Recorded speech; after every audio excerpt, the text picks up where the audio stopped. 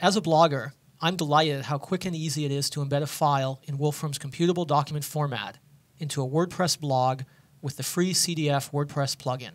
Here I have a fun object which I call Wavy. I built this with Mathematica's manipulate command so I can change Wavy's parameters and Mathematica instantly recomputes Wavy's shape. I'm thinking that Wavy is very cool and I'd love to introduce him to my blog readers. In just a few quick steps, I can embed Wavy in a post so that my readers can interact with this content just like I can. I'll start by creating a new CDF. Then I'll paste in our interactive content.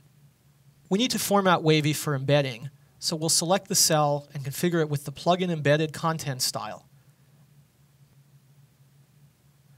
We'll also use Mathematica's option inspector to set deployed to true for the entire file.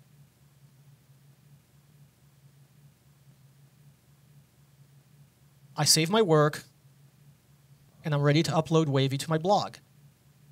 At my blog, I've started a new post. I put the cursor wherever I want to embed my CDF file, then click on the CDF button, which I got by installing the CDF WordPress plugin. I fill in the location of the CDF file and the dimensions of the object I'm going to embed, and I'm good to go. And that's how easy it is for me to share an example that my readers can interact with thanks to Wolfram CDF technology.